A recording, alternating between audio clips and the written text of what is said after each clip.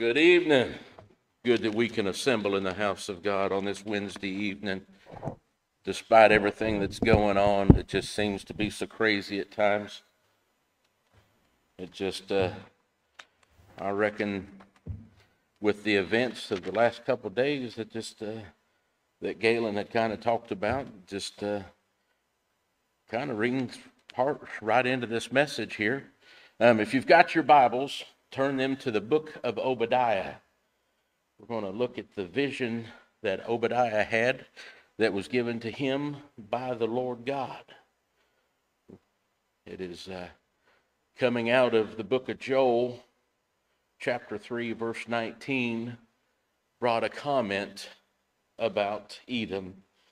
And that verse reads this way Egypt shall be a desolation, and Edom shall be a desolate wilderness for the violence against the children of Judah, because they have shed innocent blood in their land.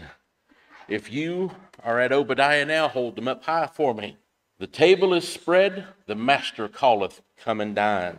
We're going to look at the first nine verses this little book of Obadiah is broke down into two main points. The first one being Edom's destruction, and you can see we'll see that and study that through the first 16 verses. And then the balance of this single chapter book, Israel's restoration. So let's get in and read our nine verses, and we will get into our topic tonight. The vision of Obadiah Thus saith the Lord God concerning Edom We have heard a rumor from the Lord, and an ambassador is sent among the heathen. Arise ye, and let us rise up against her in battle. Behold, I have made thee small among the heathen. Thou art greatly despised. The pride of thine heart hath deceived thee, thou that dwellest in the clefts of the rock whose habitation is high, that saith in his heart, Who shall bring me down to the ground? Though thou exalt thyself as the eagle, and though thou set thy nest among the stars, thence will I bring thee down, saith the Lord. If thieves came to thee, if robbers by night, how art thou cut off? Would they not have stolen till they had enough? If the grape gatherers came to thee, would they not leave some grapes? How are the things of Esau searched out? How are his hidden things sought up? All the men of thy confederacy have brought thee even to the border. The men that were at peace with thee have deceived thee and prevailed against thee. They that eat thy bread have laid a wound under thee. There is none understanding in him. Shall I not in that day, saith the Lord, even destroy the wise men out of Edom, and understanding out of the mount of Esau? And thy mighty men, O Teman, shall be dismayed to the end that every one of the mount of Esau may be cut off by slaughter. Gracious Heavenly Father, we thank you for your word tonight, Lord.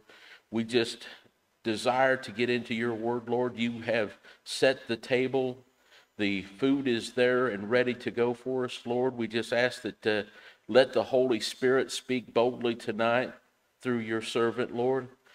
Let your word ring true.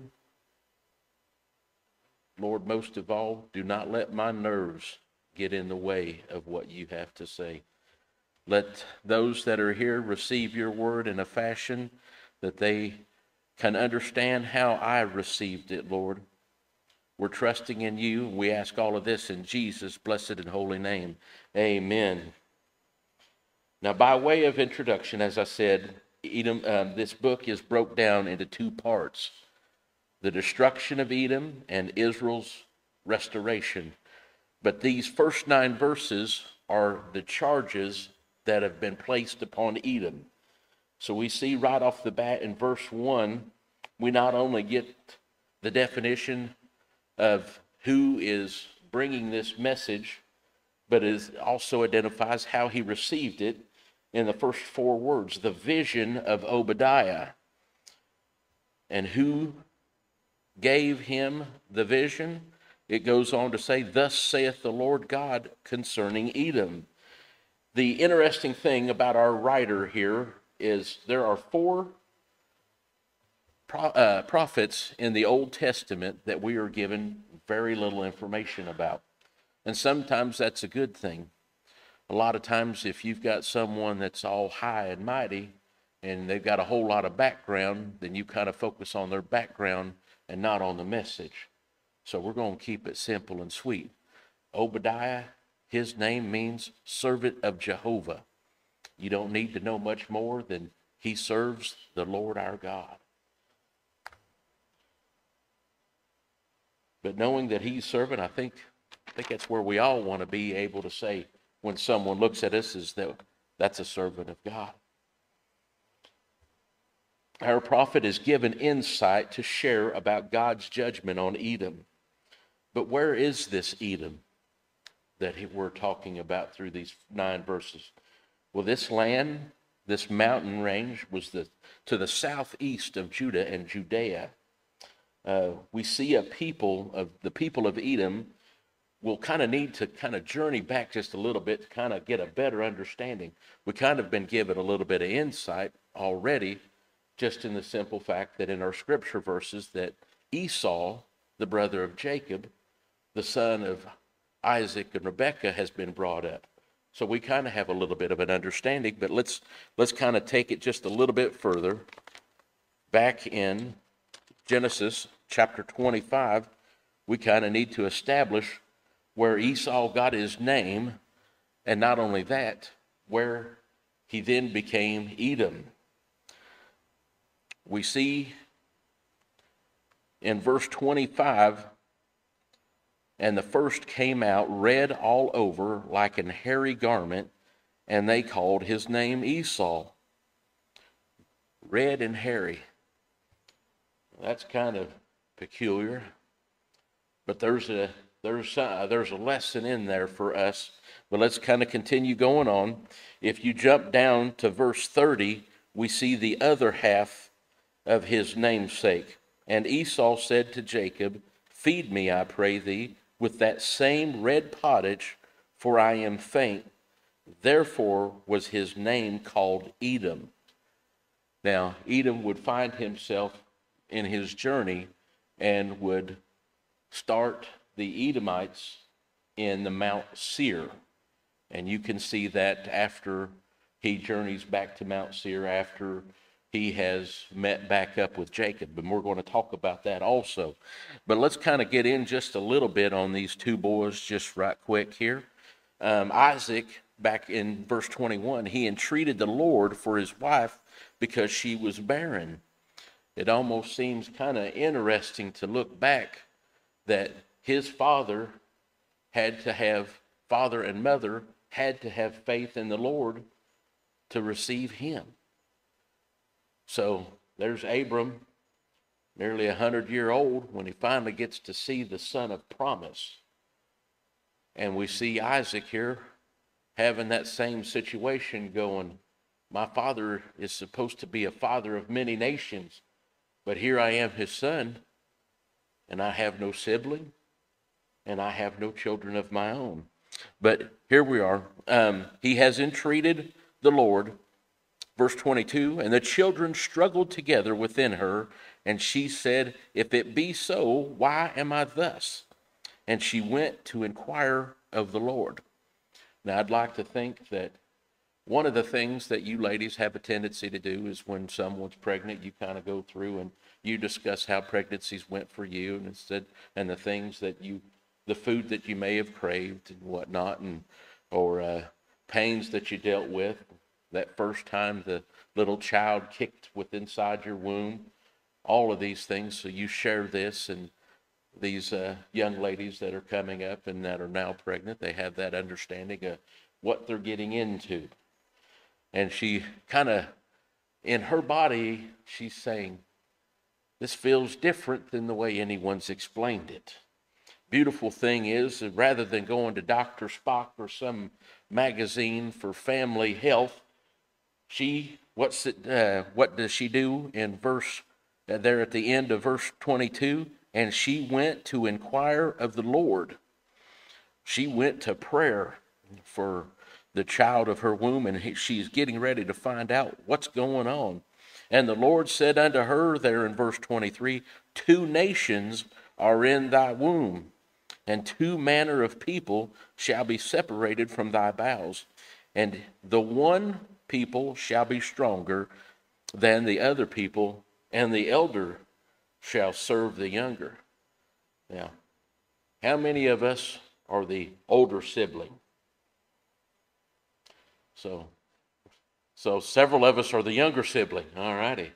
Well, I know since I'm the oldest one, I'm kind of looking at that phrase, serve the younger one. I love my brother, but I don't know that I'm ready to be a servant to him. But that's one of the things that we kind of have a drawback in this.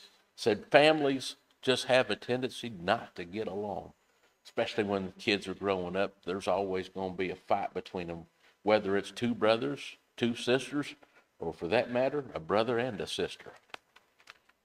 Scripture kind of tells us about some other boys that couldn't manage to get along. In Genesis chapter 4, we see the encounter of Cain and Abel. Now, Cain he brought what he brought his first fruits, but it was the first fruits of the hand of his work. Abel brought the first fruits of the sheep, of the lambs. He brought a proper sacrifice. What happened to old Cain? Cain got mad. Who did he get mad at? He got mad at his brother. His brother didn't do anything wrong. There was a sacrifice that needed to be made. There was an atonement that needed to be addressed. And I am most certain that both boys knew exactly what that was to be and how that needed to be taken care of. But instead, what do we see? We see brother going against brother in a field. One walked away, and the blood of the other cried from the rocks. We go on and we look at the two boys that would be born of Abram, Ishmael and Isaac. The first one, Ishmael, would be identified, God identified that he would be a great nation, but he had also said that he would be a wild man. And then we've got Isaac. Now, there was definitely a level of strife that took place between these two boys, and you can read that there in chapter 21. That uh, old Ishmael would look at his brother and how he'd respond, and there'd be snickers and looks.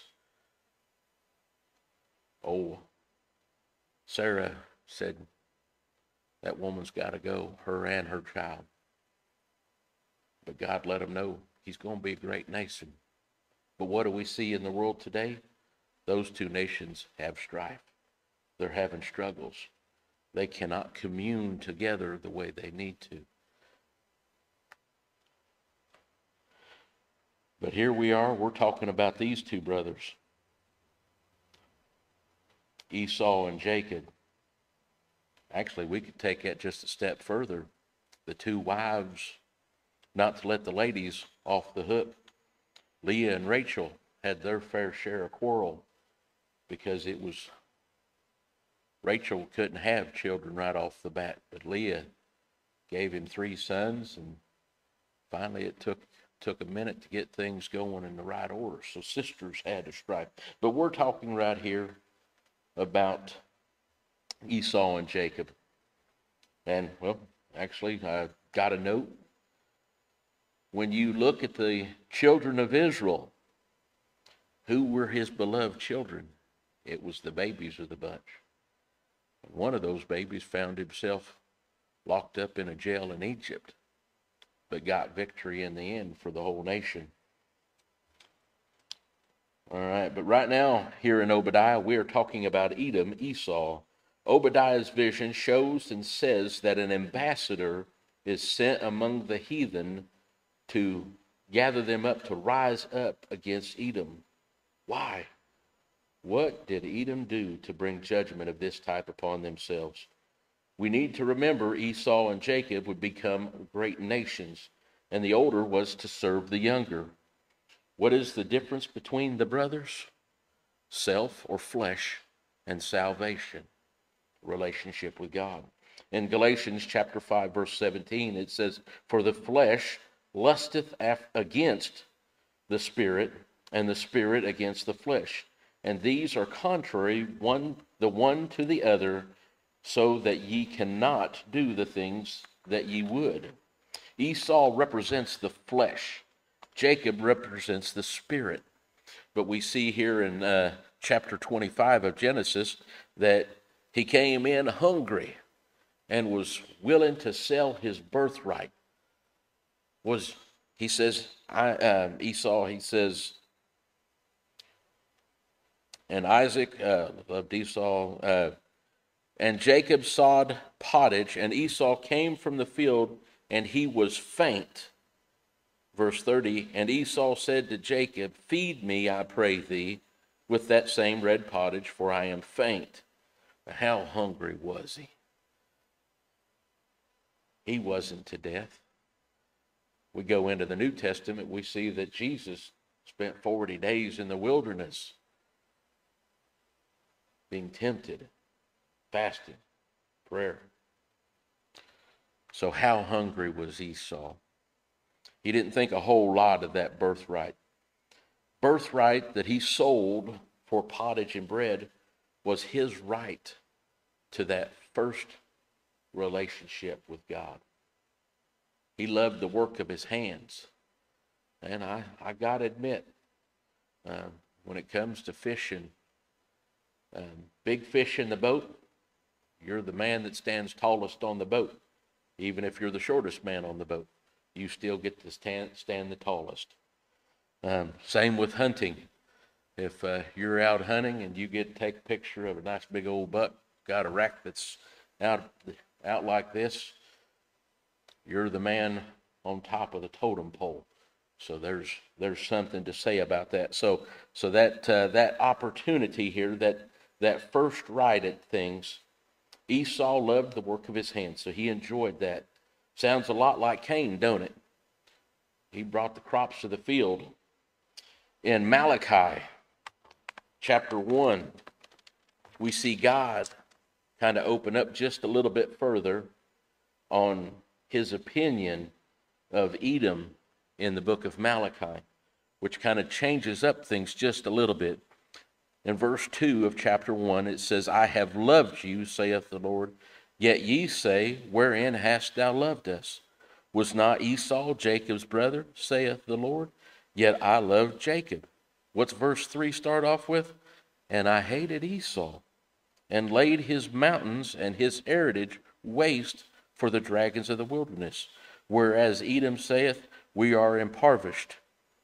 But we will return and build the desolate places, thus saith the Lord of hosts. They shall build, but I will throw down. And they shall come call them the border of wickedness, and the people against whom the Lord hath indignation. Wow.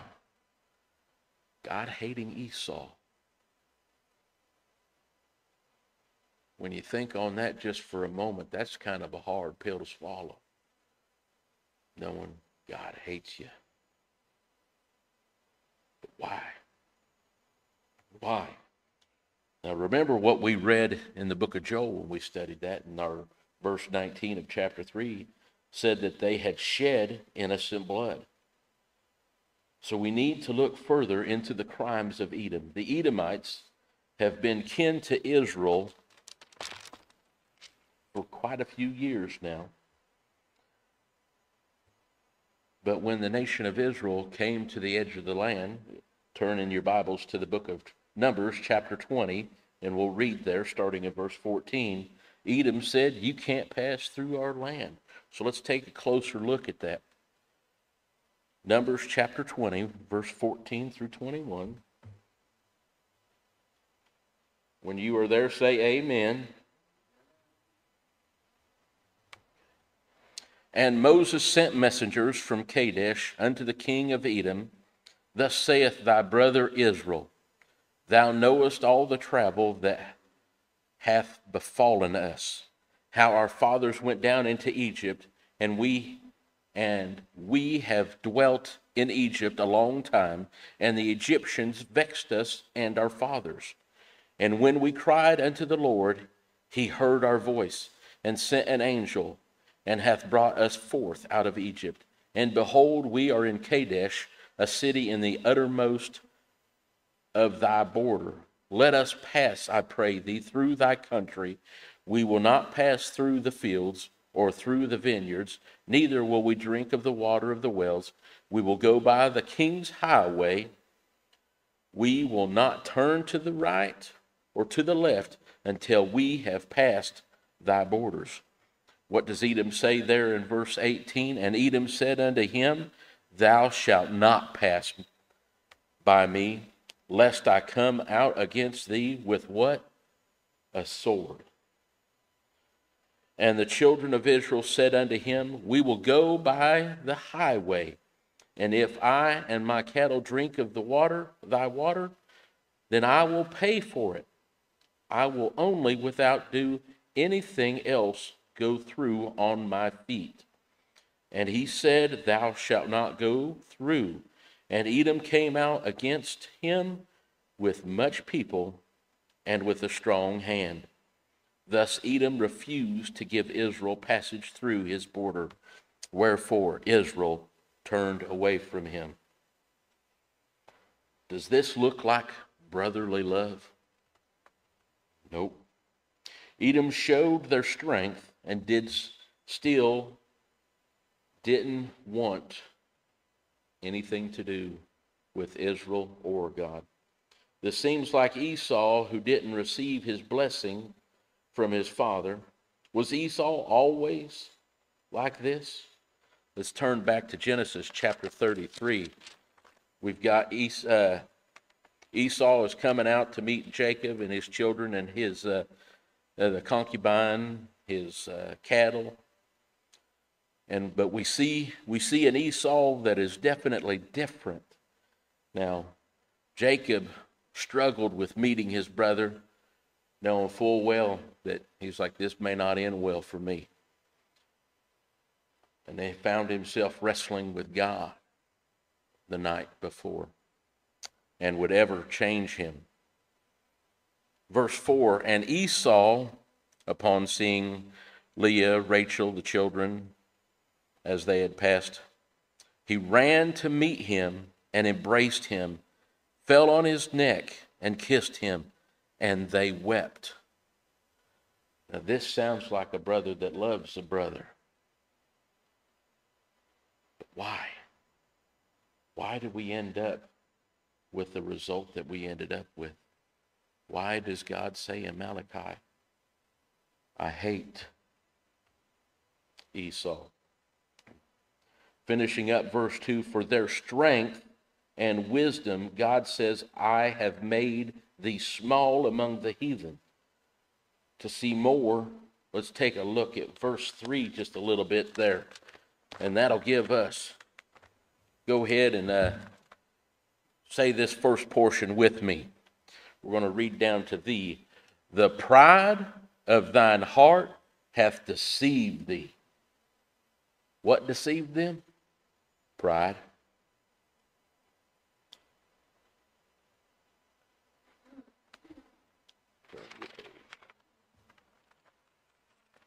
What did God hate?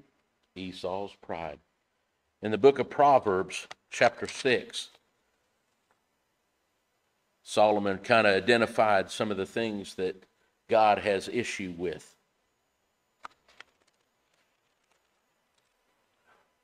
Starting in verse 16 These six things doth the Lord hate, yea, seven are an abomination unto him. A proud look a lying tongue, and hands that shed innocent blood, and heart that deviseth wicked imaginations, feet that be swift in running to mischief, a false witness that speaketh lies, and he that soweth discord among who? Brethren, among the family. What was that first what was that first thing he hated? A proud look.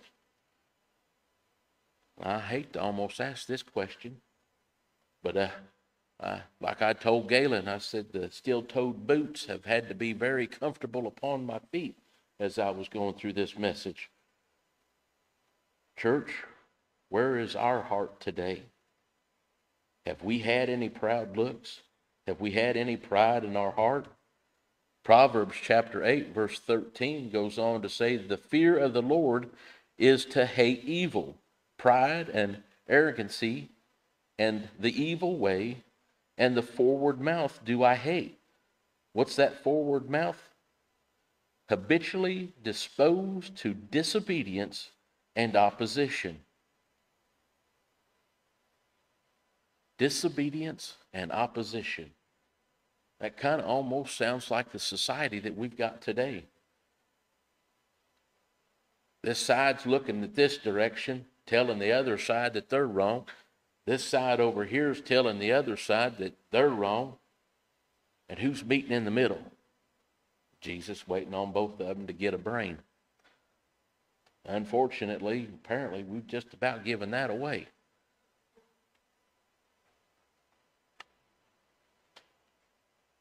So we can definitely say that we've seen some people. Well, actually, I wrote the question any of that verse sound like some people you know? Before you answer, yes, I had to look in the mirror. So I probably reckon to say we all kind of need to do that. Do we fall into that category?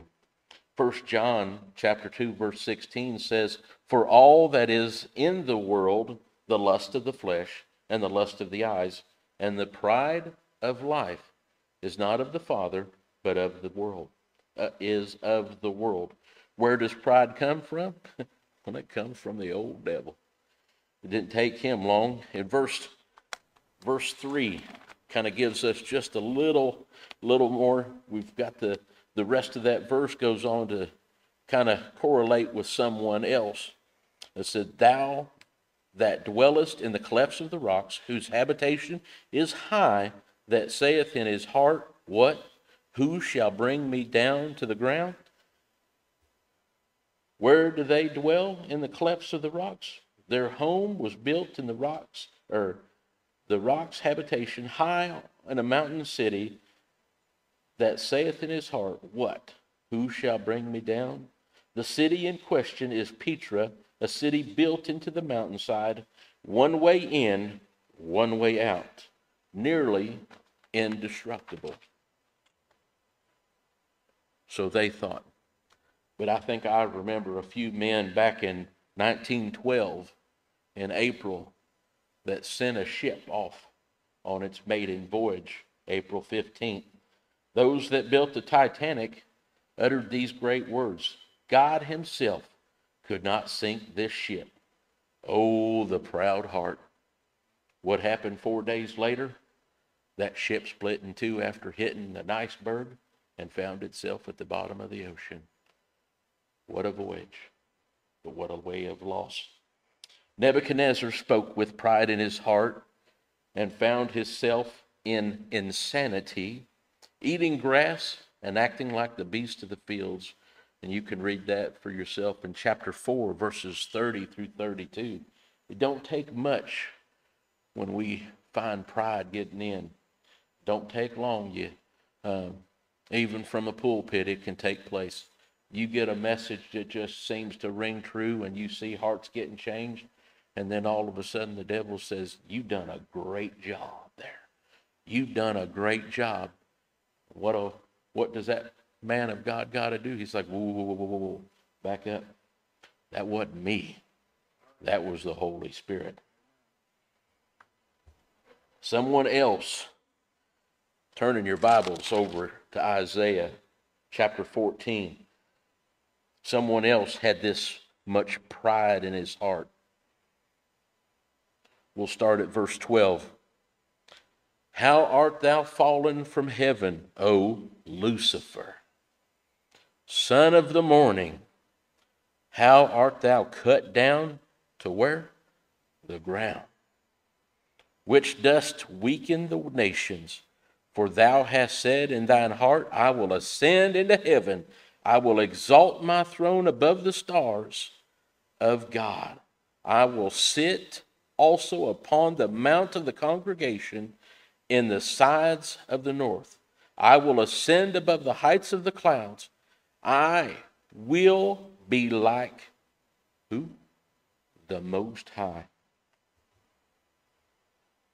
O Lucifer, pride has delivered you to the bottomless pit, as we studied in the book of Revelation.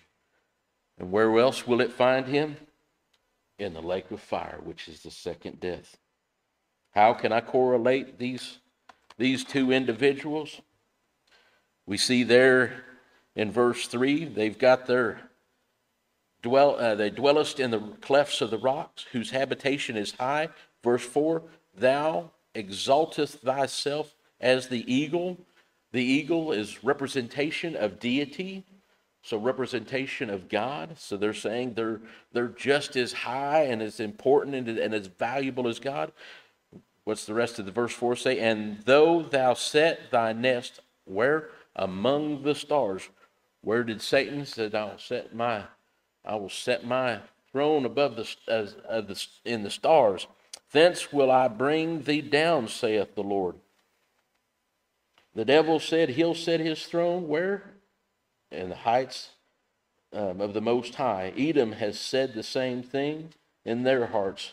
God will have his judgment. As we look at verses 5 through 9. If the thieves came to thee, if robbers by night, how art thou cut off?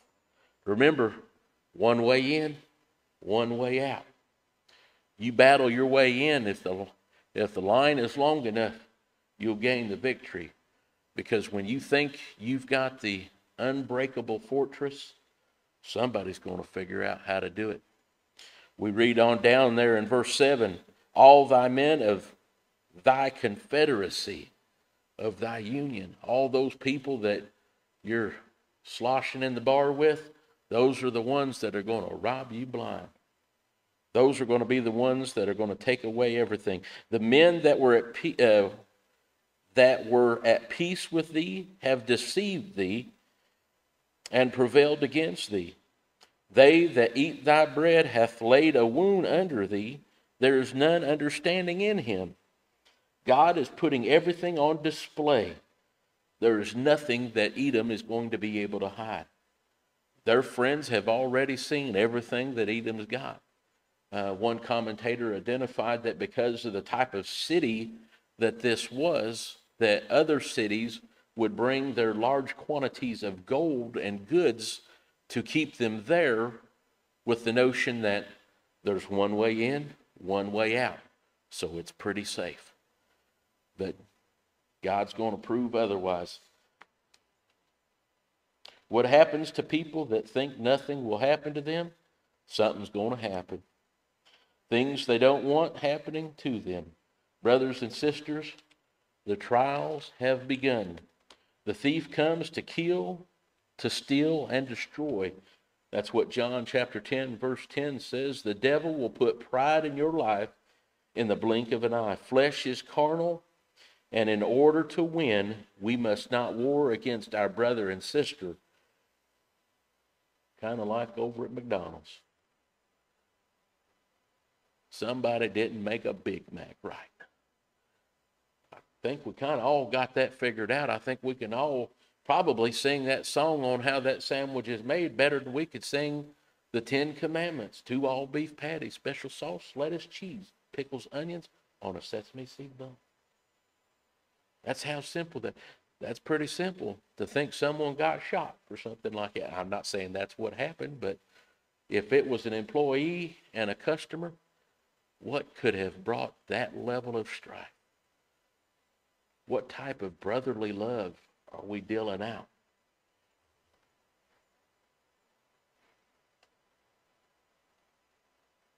Verse 7 Those that stood in the battle with them now have the knife where? In the back of Edom. As Icarus flew too close to the sun, so it is for us to have a humbled heart. In Micah chapter 6, verse 8, it reads, He hath showed thee, O man, what is good, and what doth the Lord require of thee? But to do justly and to love mercy and to walk humbly with thy God. That's all Esau had to do to keep the love of God upon him. But instead, he saw the love of what his hands could do. When he shot his arrow, he probably was strong enough. He probably fought a few animals with his bare hands. David done a pretty good job taking care of a lion and a bear. So imagine someone strong like Esau. Wise men, where does our wisdom lie? Mighty men, where does your strength lie? In Psalm Psalm chapter 20, we're almost done here. Verses 6 through 9 now know that um, I that the Lord saveth his anointed, he will hear him from his holy heaven with saving strength in his in his right hand. Some trust in chariots and some in horses, but we will remember the name of who? The Lord our God. They are brought down and fallen but we are risen and stand upright. Save, Lord, let the King hear us when we call. Where is our hope, brethren? If your hope is where it should be, trust in the one that is in control of this life, the Lord our God, El Shaddai. As you know, I called Galen tonight and wanted to switch prayer up just a little bit. I just ask that tonight, knowing the things that we've heard, not just in this lesson, but the things that we hear that are going on outside of our of our nucleus here. I'll tell you what, just go ahead and start coming, and I'll finish reading, and then we can get into prayer. Search your heart for someone that needs healing, healing of life, healing from sin, sickness, and pride. Maybe that is you tonight. Come to the altar with a humble heart. Christ died for you and for me. He has been waiting at your heart's door and is knocking. Why? Because he loves you. He has forgiveness for you. Child, God is there for you. Haven't forgiven because Maybe there's someone that you haven't for, been uh, that you haven't forgiven because they've hurt you physically or emotionally. It is time to release yourself from that pain. Let the pain of pride that is in your heart be resolved. The rest of John chapter 10, verse 10 finishes this way I am come that they might have life and have that life more abundantly. Amen. Gracious Heavenly Father, we just give you praise, glory, and honor for, for what you have done for us, Lord. There are many people that are in our lives, Lord, that just need a touch from you. And it's not just sickness, Lord. There are those that are lost, Lord, and undone. They have heard the truth in, a, in such a mighty way, Lord, from, from different individuals, Lord. But they have been reluctant and resistant to the truth, Lord. We know that you stand at the door and knock. We just ask, Lord, place someone that could speak words of truth into their heart, Lord, that tonight they can see the victories that those of us that have already come to know you as Lord and Savior have. You have always been there waiting for us, Lord the pride of this life and the pride that dwells in the hearts of individuals. We need to stand fast and not let the lust of the flesh and the lust of the eyes decide who we are, the directions that we go in life. Those that seemingly felt like maybe they was holding us back, Lord. There are those that have hurt us, Lord, that we struggle with. And we're we just have the hatred and anger in our hearts but we need to release that. And when we release that, Lord, the freedom, the joy that we get to have, the joy and peace that passes all understanding, Lord, We just glorify you, Lord, and know that you are King of kings and Lord of lords. We're trusting in you tonight, Lord, to do things that go beyond our understanding. We've got a great list of people that need you, Lord, and we're trusting and relying that your will will be done in such a mighty way, Lord. We just cannot thank you enough, Lord, for the things that have taken place. For members of this church, Lord, that, that are struggling with sickness, we put it in your hands, Lord. We know that this COVID, Lord, it just leaves a lasting effect on the body, Lord. It has been devised to steal the breath, the breath that you offered, the breath that you gave us, Lord. So we just are trusting you tonight, Lord, to do great things, to move as only you can, Lord. We have missionaries that'll be coming in, Lord. We just ask that you protect them in their in their travels, Lord. Bring them here safe. We know the great distance that they are traveling, Lord. We glorify you that they can be here with us, Lord, at the appointed time. So we look forward to great things to come, Lord. We're also asking, Lord, that you move in such a way that revival begins, Lord, not just in this church, but in this neighborhood and in the neighborhoods around us, Lord.